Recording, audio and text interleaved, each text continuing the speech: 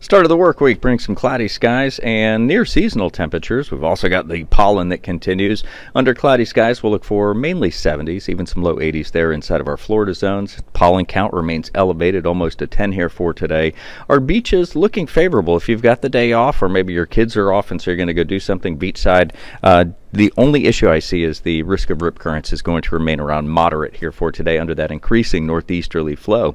Our temperatures will be a little warmer inland, even some 80s here in our Florida zone, southeast Georgia mainly 70s, and coastal zones a little cooler, upper 60s, lower 70s. The showers will be mainly inland. Those will come in after about 5 o'clock this afternoon. I 75 corridor, and then they'll slowly dissipate overnight tonight. It's Tuesday that we're watching for our wet weather day, complete with what will be some showers and storms between a 50 and a 70% chance.